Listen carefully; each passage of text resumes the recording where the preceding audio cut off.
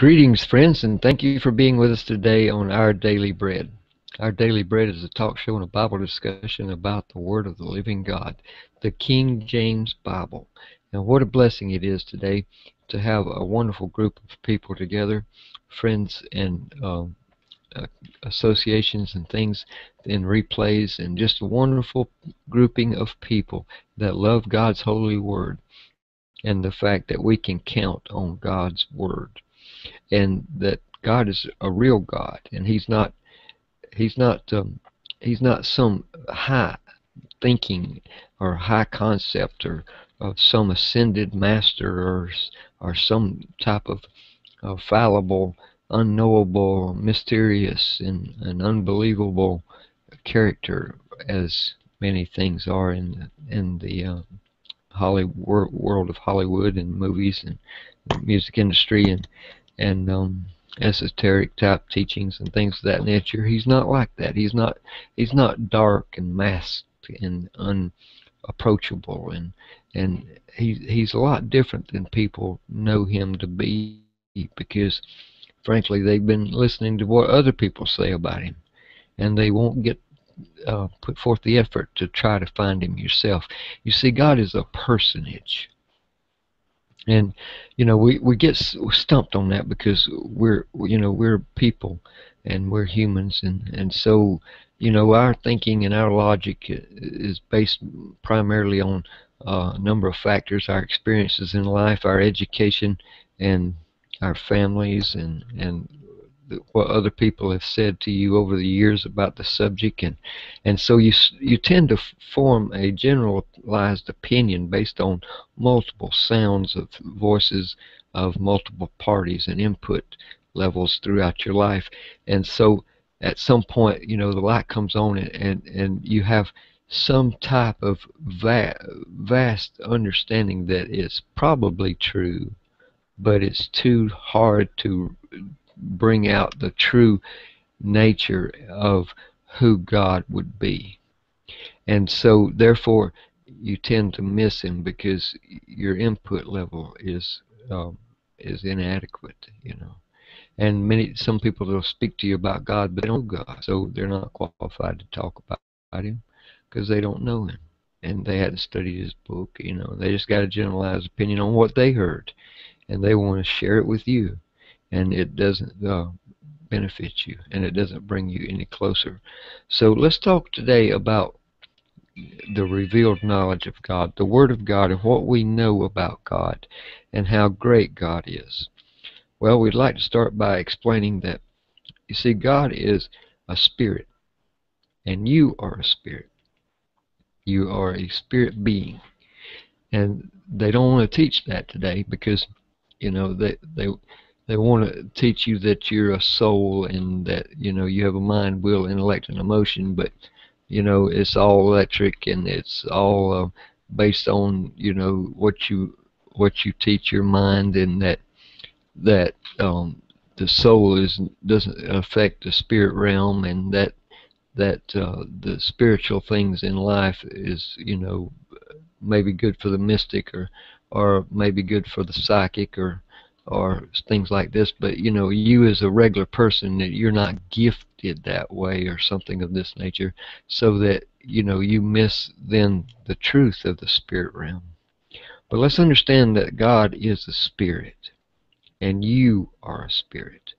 You live in a body and you possess a soul. And when you accept Christ as your Savior, your spirit becomes alive unto God prior to that you were uh, still a spirit but you was dormant in the fact that you didn't have any conduit with the spirit of god. But when you accept his son through the blood of christ and his work at calvary and the resurrection then that connection is made and you become what the scripture calls quickened. You are alive unto god. For the first time you are able then to operate and access the spirit realm. So as a born again person and as a believer in Christ Jesus, then you're in touch with the spirit realm through the Savior and through the knowledge of the Word of God and the Holy Spirit. And so then these parameters have to be added to in order to make your communication efficient between the spirit realm of God in heaven through the Holy Spirit and through the Word of God and through your own faculty to understand it with your soul and your spirit. God is a spirit. Now, let's explain pretty much why we know about or what we know about the Trinity. Perhaps that's a good starting place. You see, God is an infinite being, and we can't look on into his face. No man has ever seen God in the, the form of the Father on his throne, because if you did, it would kill you, because a human can't can't see that kind of power. It's just too powerful. We're talking about the source of all knowledge and all wisdom, knowledge of past, present, and future, all variables, knowledge to make electromagnetism and lightning and thunder, and knowledge to send rain and to develop ecosystems and humans that are three parts spirit, soul, and body, and and interaction between the earth and the moon and the sun, and between the trees that breathe in carbon monoxide and put out oxygen, and the human that breathes in oxygen and puts out carbon monoxide. So these systems working together in ecological terms, and rivers and mountains, and you know some of the greatest beauty beauty in the world is under the ocean. When you you've seen footage of how that the, the sea kingdom under the world is so beautiful and glorious with all its various lively fish and things of colors and all kinds of beautiful uh, creation, coral reefs and things of this nature, schools of fish flying around, or pardon me, swimming around. So, you know, God is a glorious being, great power, power that creates the sun and it runs for 6,000 plus years without depleting its energy.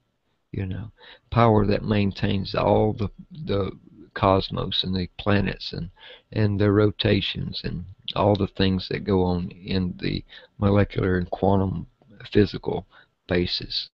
See, this is great, great power. And what he's done is he's chosen to reveal himself as much as he can to our human consciousness and our spirit. So we get this uh, understanding through the complexity of his word, Old and New Testament. And so, having said that, then we understand that God has decided that the best way to reveal himself to us is in three personages, three different types of people if you will. Those three parts making up the Trinity. The Father, and He's the rule maker. He's the shot caller. He is the rule uh, rules over his family, and, and he tells his sons and daughters what to do, and they listen to him, and he he he runs his household. And you're a brother or sister in Christ to me, and then you're a, a fellow uh, brother and sister in the kingdom and the family of God. So you're in his family and he's the father. And then we have our elder brother Jesus. And Jesus, he's the Word of God. So God said, Let there be light. And Jesus went out and made the sun. He's the Word that goes out of God. And he's a personage. And he came to earth, of course, born of the Virgin uh, Mary, and died on the cross, and was raised on the third day. So this is God that come down to talk to us and teach us things. And so he's the he's your friend and he's your counselor and and he's he's the one that cares about you. He's a mediator. He talks between the Father and you. He takes your side and listens to it, and he takes the Father's side and listens to that, and then he makes peace between us. So he's the mediator, and he's and he's the Savior, and he's the Word. We have his representation on earth, the King James Bible. That's him. He's the Word of God. And the King James Bible was inspired by God. And so his representation is our Bible. Okay, having said that, then the next party is the Holy Spirit. And the Holy Spirit is the, the divine nature of God. It, his his qualities. His, he's he's very gentlemanly. He's very soft spoken. He's very humble. He's very meek, and he, he likes beauty and, purity, and and he's kind and tender toward people. He's brotherly, and he's he's the teacher of us, and he teaches us, and he admonishes us. He he warns us, and he encourages us when you're feeling down. He's the one that comes to you and says, "You can do it, son. You gonna make it, daughter. Come come on, let's get up and try again. We can we can get over this this valley. We can get through this situation." He's the Holy Spirit. And He's the nature of God, the loving, kind, compassionate nature of God. And so these three parts actually being one, you know, just as we're one. We're three parts, but you, we're one person. And He's three parts, but He's one person. And this one person we know is God in general. Broke down to us in three different personage Father, Son, and Holy Spirit. Okay. Having said that, then today we're talking then about the revealed knowledge that allows us to have fellowship and to be in His presence and to walk in communion with such a holy and righteous and just a great power in the universe. The, the power that sets the dynamics of the sun and tells the sun's solar storms when to operate for the interjection of plasma into the universe to benefit the electromagnetic fields in multiple multiple parts of the, his galaxies. You see, God Almighty is very great, and He's not a fool, and He's not a nitwit, and he He's very organized, very structured, and He's given us a book of knowledge, and it's revealed unto mankind on how that we go about accessing Him and what the proper procedures is. Now today we've got a wonderful young man with us, Brother Lucas, and uh, I was cutting up with him about an ID that he used, which was King Lucas, and I just love that because he's a brilliant young man. He's got his whole life ahead of him, and I see great things in him. And um, so, but I had was cutting up with him about him being king over his kingdom.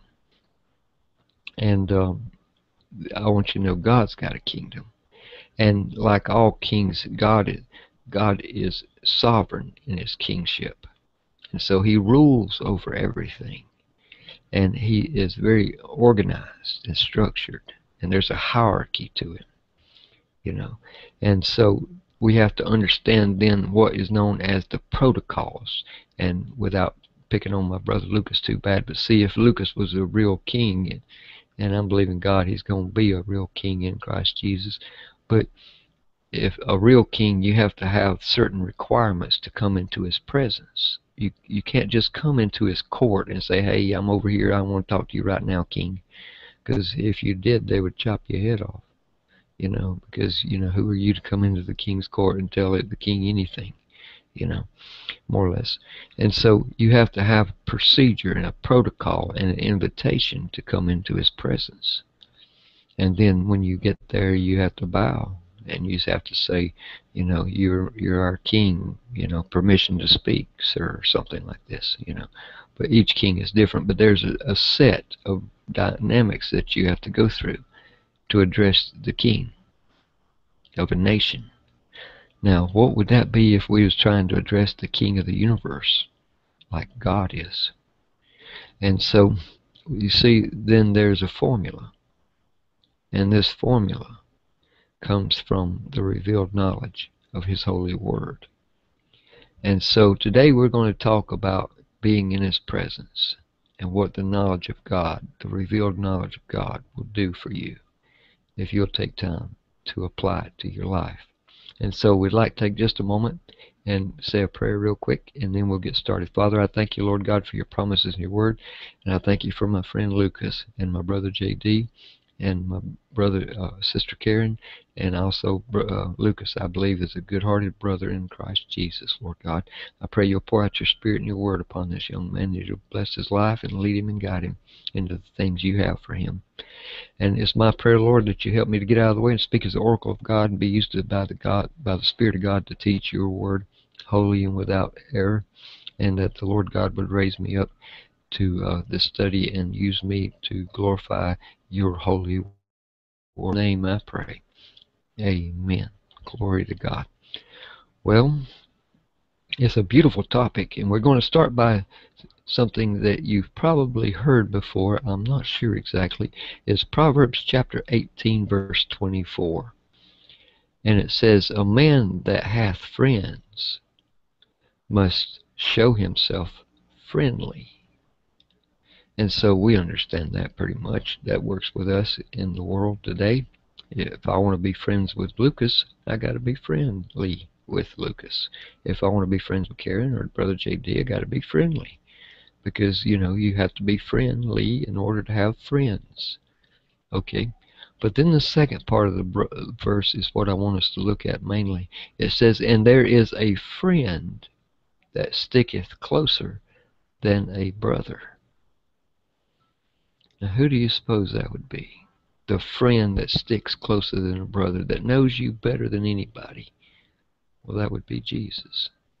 Another verse says that a strand of three cords are not easily broken.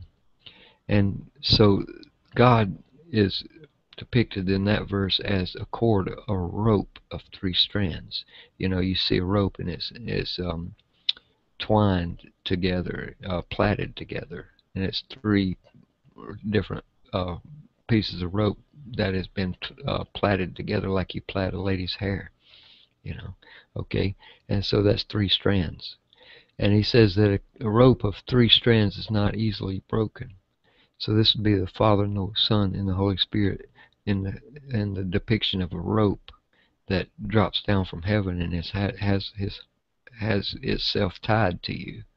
And it's not easily broken because God loves you and he wants you to succeed in life in this verse though we see that God is a friend of yours and that he sticks closer to you than a brother. And I've noticed this about him over the years, and, and I don't mean no harm, and I'm not trying to be presumptuous, but I've noticed over the years that God knows me better than I know myself. You know, because every now and then just something wonderful will happen, you know, and I will marvel at it. And I'll think, Lord, only you could have done figured on that because I didn't even know how much that would be cool. And so you did it for me because you did wanted to do something for me. Because he knew me better than I knew myself, you know. He he knew what kind of car I wanted at one one time. And I got that car. And and uh, it was four or five years before I got the car. But I had seen it at a car lot or one similar to it. And um, and I couldn't get it financed because I was young. I was about 16 actually. But four or five years later, there's that car sitting in my yard, and that God got it financed, and there it is, and, and it's beautiful, and only and I'd forgotten about it, but the Lord had remembered that I wanted that particular car, and it was awesome, you know. And He'll do that for Brother Lucas. He's ahead of us, and He's a friend to us.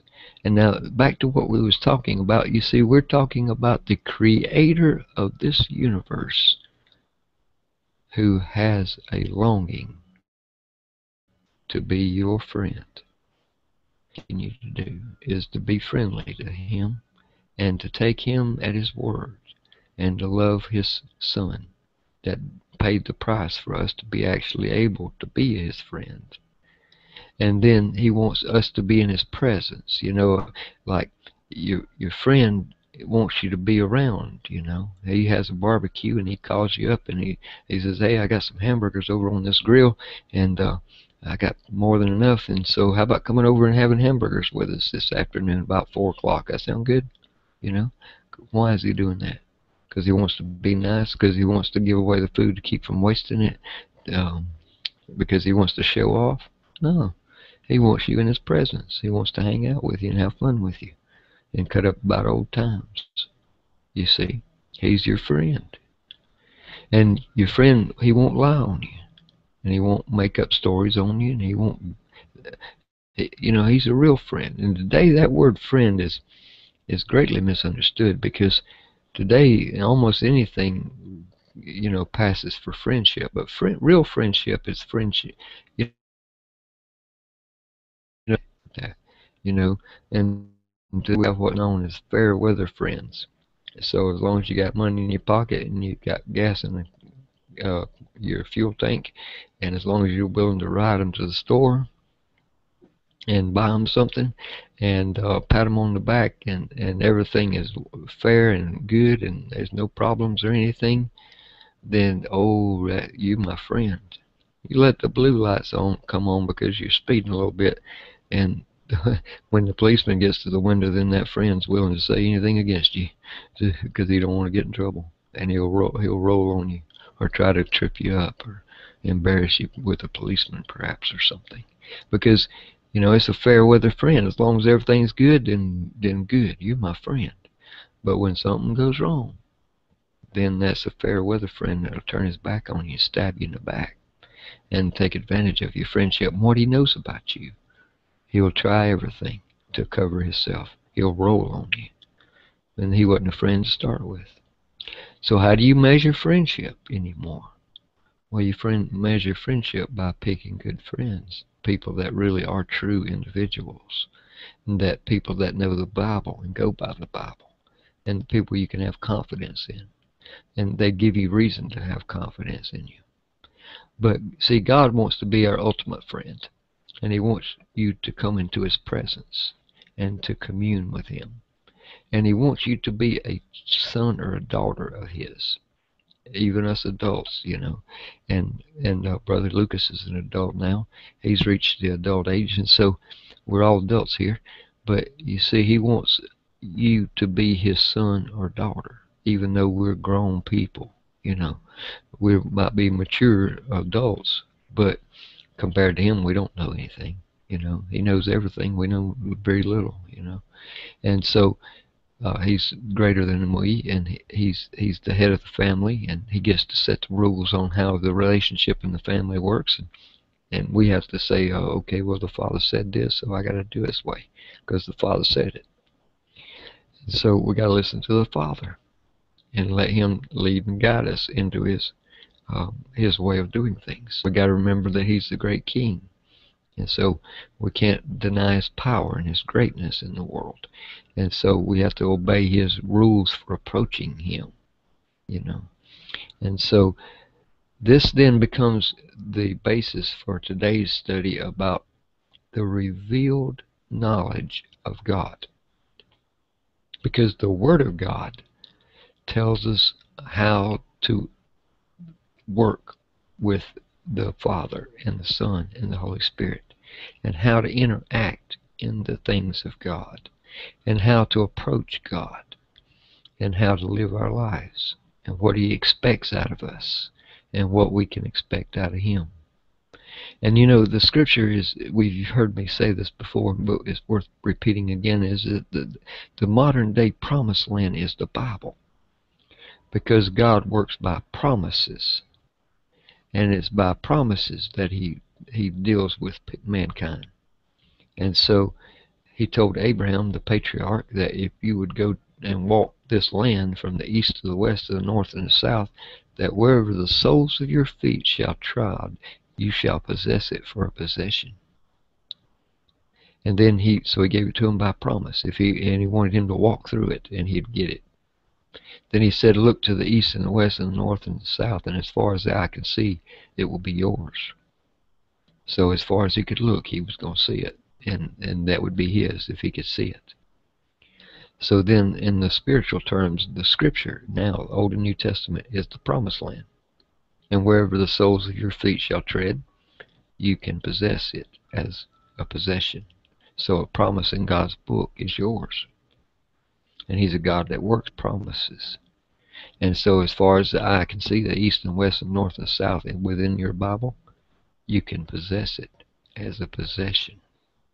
So then this revealed knowledge then of God as given to us by the Textus Receptus, the King James Bible, the majority text, is very quintessential to understanding then the mode of the spirit and the way that the spirit realm works and the dynamics of it, you know. And you think about quantum mechanics or perhaps um, molecular biology, microbiology, you know.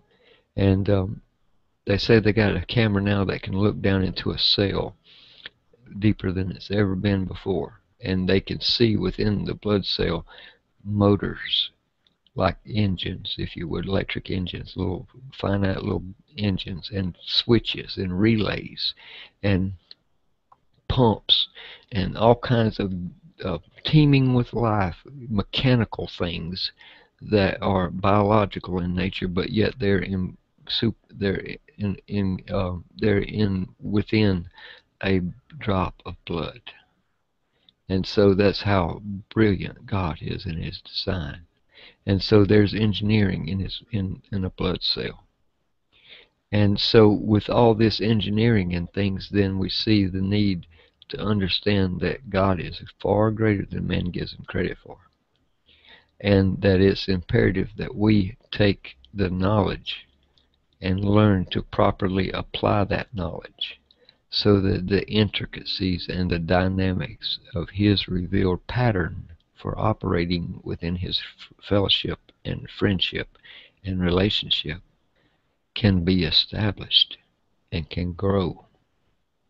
And that comes from the Bible, from revealed knowledge. So then this book then becomes our policy manual. And it, you know, there's the old joke about this. It's, you know, the word Bible, you've heard it. Uh, well, it's a Latin book, a word, by the way. It means library. And so this is God's library. But there's an advantage. It goes that the Bible stands for, it's an acronym and it stands for basic instructions before leaving earth. And so, and that's pretty much true. This is your companion guide. You know, if you buy a car brand new and you get the keys from the dealer and he says, okay, it's yours. Well, you go and get in the car and you open the dash and there is the owner's manual written by the manufacturer. And the manufacturer knows all about this car. It knows how many gallons goes in the radiator, and it knows how many quarts of oil you need, and it knows when the clutch is going to be serviced, and it knows uh, how to set the thermostat on the air condition. It knows everything about this car because it's the policy, the service manual, and the instruction manual for this car. Well, this is your instruction manual for human. Yeah, this is the human instruction manual, manual written by the manufacturer, the good Lord. And we see that. And it says in Timothy, all scripture is given by God is profitable for correction and for reproof and for instruction in righteousness.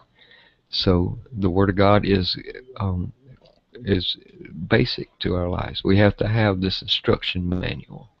And this instruction manual is very important that we follow it and learn to operate within it. Now, what if you took that car that you bought that's brand new and you um, tried to go forward by putting the gear shifter in the reverse position? well, you'd go in the reverse and you wouldn't go forward. And you'd hit something and crash the car. Why? Because you didn't follow the instruction manual, you know? And so, you see, I know it's a simple example, but that's the way people are trying to live is is we're trying to live without the instruction manual you know? And um, and that really fits with us men because you know we buy a, a bicycle for the children on Christmas. And you've all done it so everybody be honest now. We've all done this. You break out the, the the bicycle and all the parts that go with it. You know all about bicycles because you always had one and you fixed them before and everything. So you decide you're gonna put this bicycle together by yourself without reading the book. And you're not gonna take one glance at the book. You're just gonna put it together. Well, you get about halfway into that thing, and then you're gonna have to break the book out because when all else fails, read the instruction book, as the saying goes. And so many times we don't realize the importance of reading this instruction book before we try to live our lives. And so let's put the heart, the old saying goes, the horse before the cart, you know. And so uh, you don't, so you don't go try to live your life without the Word of God, because that's putting the cart first, and the horse is behind it, and the horse ain't gonna push the cart. He's only gonna be able to pull it. So you put the Word of God, the horse, in front, and let Him pull the cart, which is you, through life. And that's the way which is supposed to work. And in former years, believe it or not, they actually had really good understanding of this. But in our modern society, it's been lost. And the modern people don't want instructions. That's the last thing we want. We don't want any instructions. We want to do everything our way, and if it works out, fine. If it don't work out, fine. But we we just don't want nobody to tell us nothing. Well, that's the height of pride, you know. And and it'll always come back to haunt you. It'll never work that way.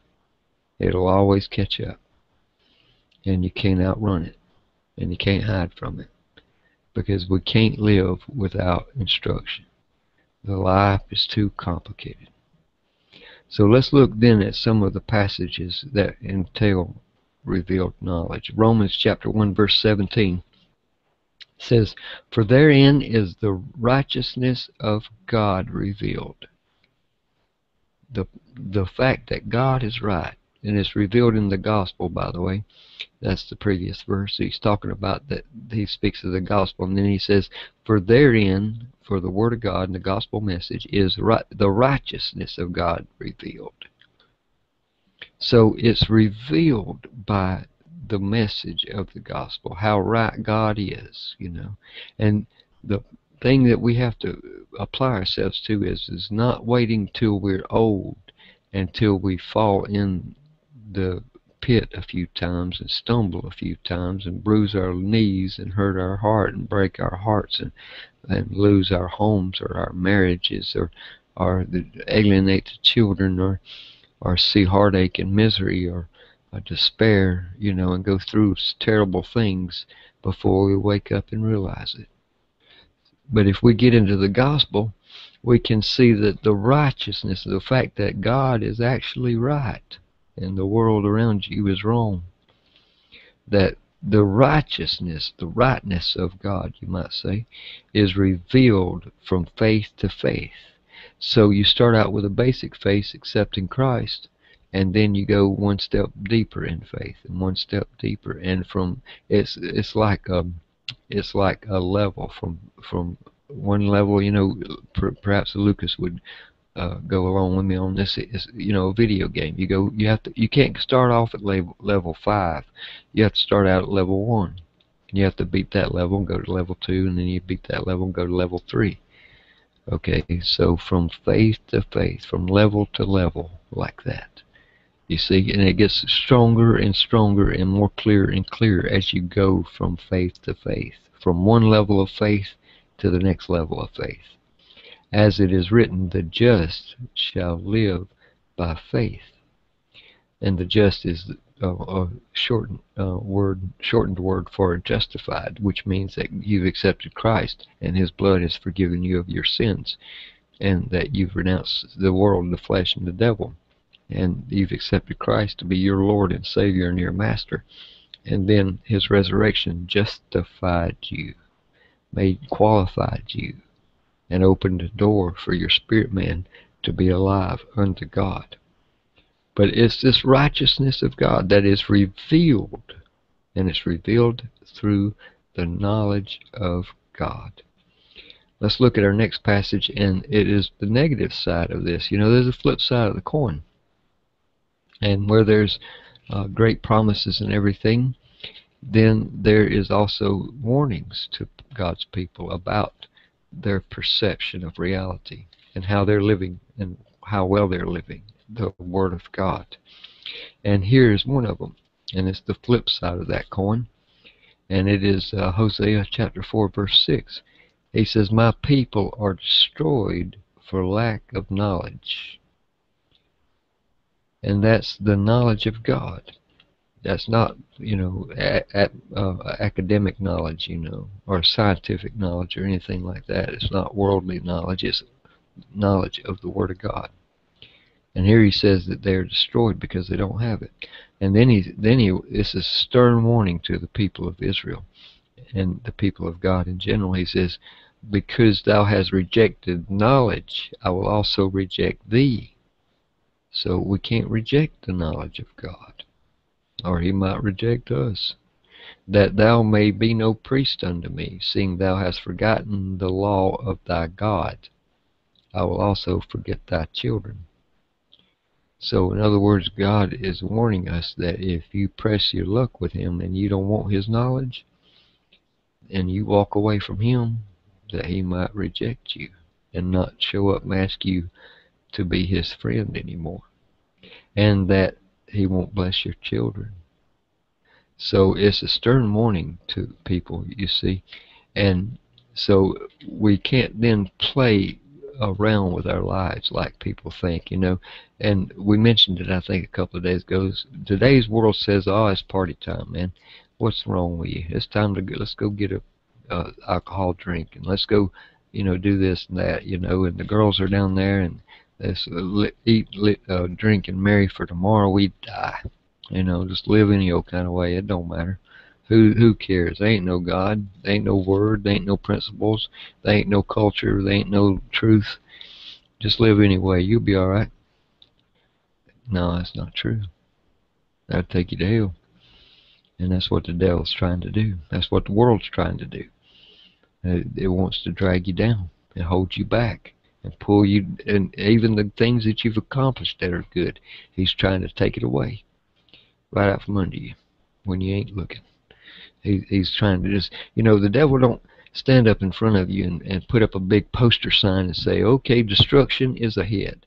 I'm going to throw you under the bus and run over you a couple of times, and I'm going to back up a few more times and run over you, and I'm going to take away all the beautiful things you like and care about, and I'm going to live, give you a life of misery, and I'm going to get you down on Skid Row, and I'm going to drag you through the mud and, and treat you like dirt, and then later on you're going to burn in hell with me forever. No, he doesn't put that sign out. He doesn't put that out at all.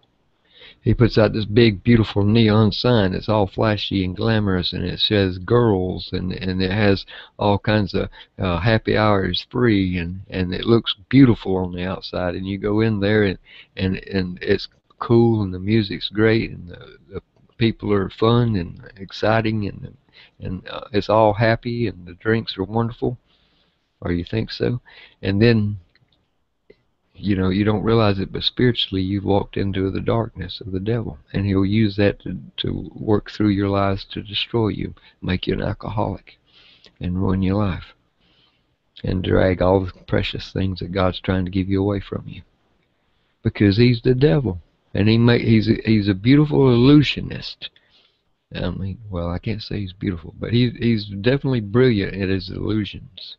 He will give you the illusion that you can live anyway and everything will be all right. And simply put, that is a lie. That is not true. There is results to rejecting the wisdom and knowledge of God. In Isaiah chapter 5 verse 13 is our verse for this. It says, Therefore my people are gone into captivity because they have no knowledge. And their honorable men are famished. So they're honorable people that should be standing up and proclaiming these things far greater than myself.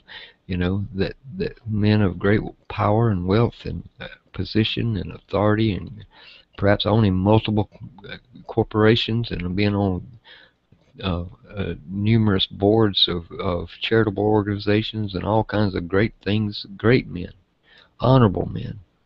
Here it says that these honorable men are famished. In other words, they're hungry. And famished is, is starvation. And he, do, he doesn't mean food, like natural food. He means they're, they're spiritually famished. They hadn't been fed spiritually.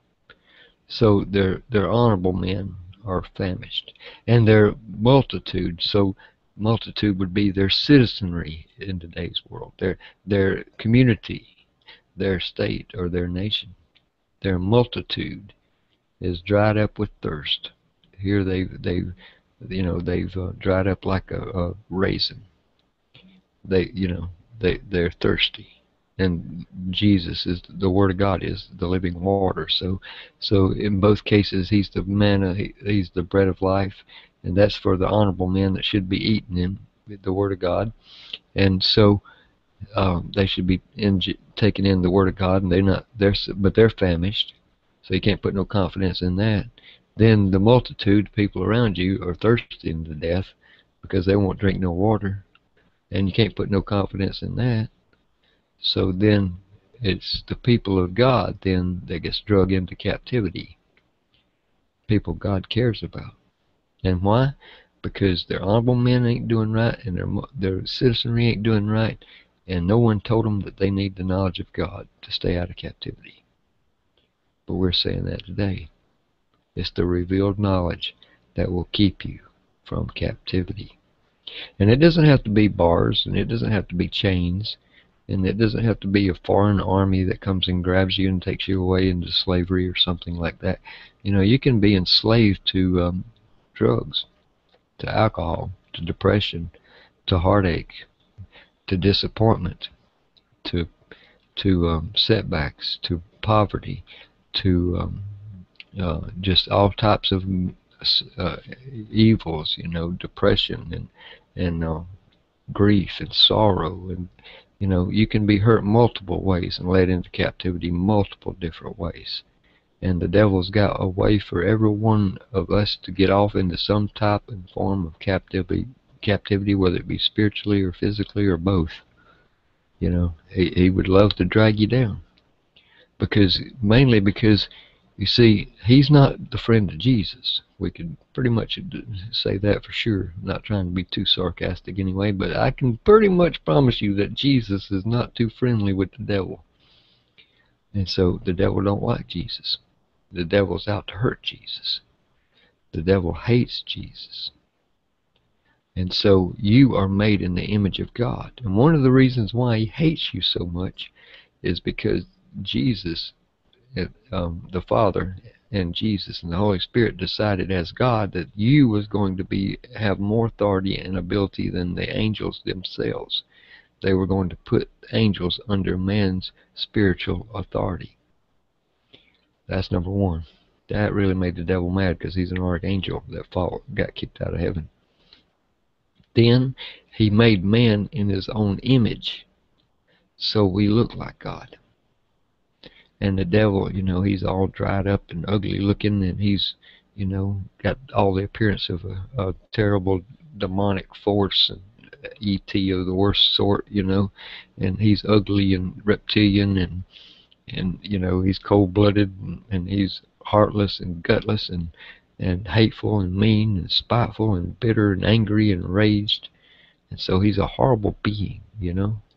And then he looks at you and you're a nice, kind person, you know, and you do things for people and you want to talk to people and you want to be friends with people and you're in the image of God and, and you got more power than his angels does. And so he don't like you too much. But he don't like me either. So don't be discouraged. But he's out to take away the dreams and the hopes and lead mankind into captivity. Because he see when he hurts you, he's hurting a child of God. And that hurts God because God loves you. So if he see, he gets you to trip up, then you're God Jesus has got a tear in his eye because that's my boy down there doing that, or that's my girl down there doing that, you know. And he's got a tear in his eye about it because the devil's led him off into captivity somehow, and the devil can't do it without you surrendering to him, to his ideas and things he tries to throw at you, you know. Or if he can get you to hate yourself or look down yourself or act in an undignified way or forget that you're an ambassador of God and that you're a priest and that you're a king unto God and that he's given you kingship over your life and that you are a creator because you can create your future by going to school and things like this. not throwing anything at Brother Lucas, but you know, we can go to school and learn a course in something or another and then we get a certificate and we can go get a job with that and we have created something we have created something and then you get married and you, you and your wife um, in holy matrimony have relations that are proper and adult we can't talk about too much but then there's a child born and you created a child see he's given you the power to procreate your children and then your future. You know, and we talked the other day about how important it is what kind of seeds we're sowing because if you take an apple seed and you put that apple seed in the ground, it will produce an apple tree. And that apple tree will have many apples on it, and one of them will fall off and hit the ground, and it'll produce another apple tree. And if you leave it alone for a few years, you'll have a whole orchard of apple trees. So this one seed had the potential to create a whole orchard of apple trees and thousands upon thousands of apples. You see, you planted an apple seed and you got a harvest of apples. And then that works with all things in, in the world, in our lives. He said, as long as the earth remains, seed time and harvest shall remain. So then we have to look at what kind of seeds we're planting. Because if you're planting love and kindness and goodness and mercy and tenderness and help and assistance and blessings and, and kindness and all these wonderful things that the Bible tells you to plant, then you're going to get a wonderful harvest off that. It'll come in in bumper crop. People be good to you and bless you everywhere you turn. But on the other hand, it works in the negative as well. If you plant hate and meanness and spite and bitterness and jealousy and rage and anger and drugs and alcohol and and um, uh, all kinds of things down the line like this, then you're going to reap a harvest of that. But we have to be cautious then because what we're sowing is what we're reaping, good or bad, right or wrong, blessing or cursing. And so we want to plant the right kind of crop if we're going to have the right kind of life. And these are just a few of the things that the knowledge of God will teach us. And we have many to learn. Let's look at another one right quick. It's uh, 2 Peter chapter 1 verse uh, 2 to 3. And if anybody knows how long we have been talking, please let me know because I've lost track of the time. I do that quite often. I get focused on the study and, and I'm going to have to get me a big clock or something. so I apologize to you. I don't know how long we've been talking. Second Peter chapter 1 verse 2 and 3 says, Grace and peace be multiplied unto you. So here we have two things. The grace of God in your life. Grace.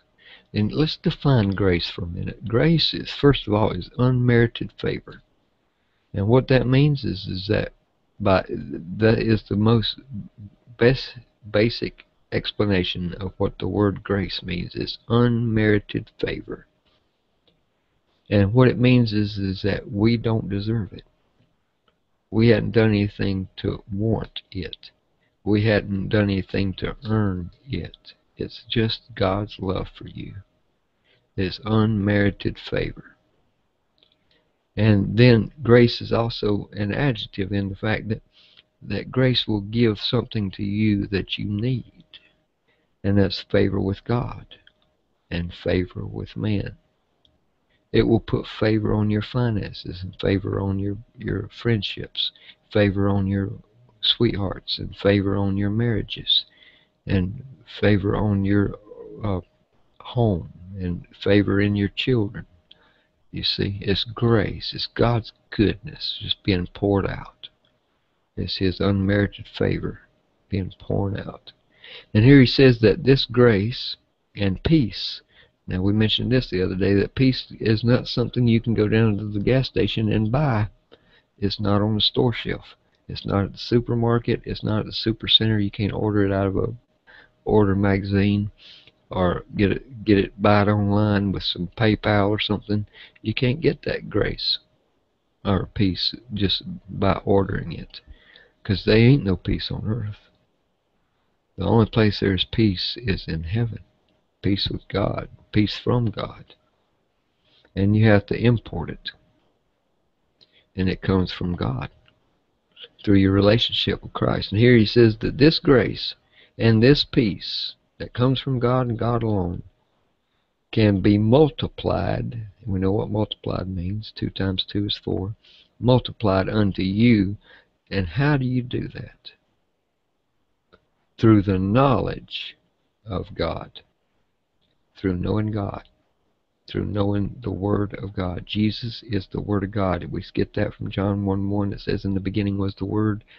Capital W denotes deity. The Word was God. The same was in the beginning. All things were created by Him. Without Him, nothing was created that was created.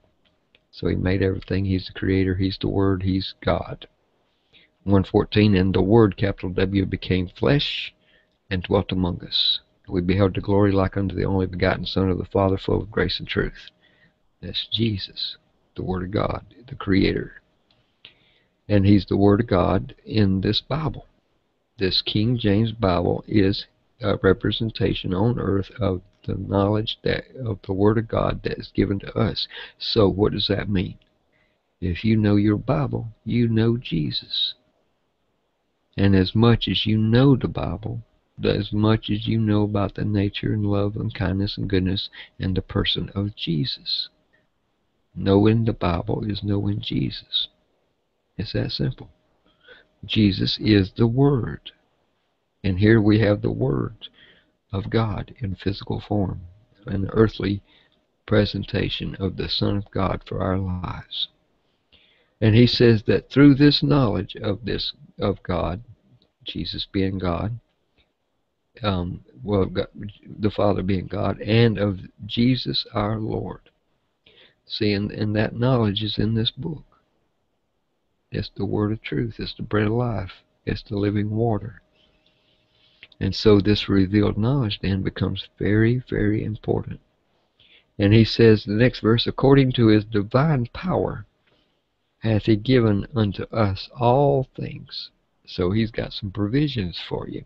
You know, if we was going on a camping trip, we would have to stop at the store, and we'd have to pick up some sardines and some fire logs and some uh, ice and some drinks of Coke or Pepsi or whatever, and uh, some um, maybe some uh, charcoal and some hamburger meat and some hot dog material and, and hamburger stuff and and uh, everything we would need. And we would be getting our provisions for our camping trip. And uh, and so it's a wonderful thing. And we would pick up the uh, supplies and we would be ready to go right? That would be provisions. And it's that's the way it works you know? And so god is our provision right here. And he has given us the provisions we need. According to his power he's given us all provisions that pertain everything you need that pertain unto life everlasting life eternal life and godlikeness godliness and how does we get that through the knowledge of him that hath called us to glory and to virtue. Glory be to God. And this is the task then, is to come to this revealed knowledge so that we can have life and godliness, grace and peace, and glory and virtue. These are the benefits of knowing the revealed knowledge of God. And so, in our time today, I'd like to ask you then to take the Bible very serious. It's the basic instructions before leaving earth. So let's get to know Jesus. And I want to remind you that Jesus is a friend that sticks closer than a brother. He's a real friend and he won't use you. He won't take advantage of you. He won't talk behind your back. He won't stab you in the back. He won't forsake you during hard times. Matter of fact, he'll be that much more closer during hard times. And he's a good God. And he gave his life so that you didn't go into captivity for lack of knowledge of his holy word. So let's serve Jesus. Let's be a friend back. Let's be a real friend. Let's show ourselves to be friendly. And let's get to know our great God and Savior, Jesus Christ. And uh, let's use the revealed knowledge of God to get close to Him and to be in His presence and to be in of grace, expecting to receive mercy and grace to help in a time of need. And so this is the task of the believer today and let us not fail him. Let us take this revealed knowledge and make it have new impotence in our life, new importance, new strength for today, the times we live. And let's pray. Father, I thank you, Lord God, for your promises and your word. I thank you for your Son, Jesus, and I thank you for your revealed knowledge. And I thank you for pouring out your Spirit. It's my prayer, Lord God, that you would open the eyes of our understanding, that we might know what the height and the depth and the love wherewith you have called us, and, and that you would grant unto us the spirit of wisdom and revelation and knowledge of him, and that you would make us good disciples and scholars of your holy word and that this revealed knowledge would lead us forward in a way that's everlasting.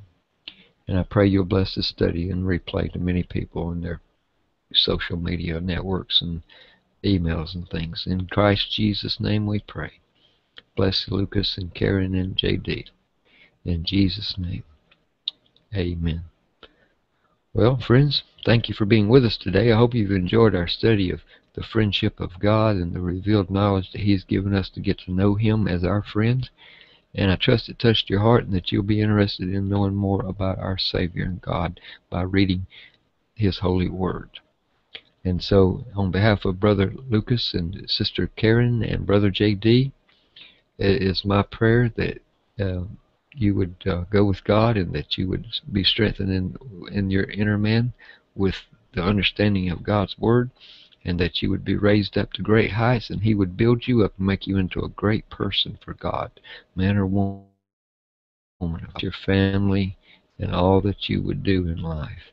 Because as you honor Him, He says, I will honor them that honors me. So let's honor Him by knowing His revealed knowledge, the King James Bible. And that's our prayer today. In Jesus' name, amen.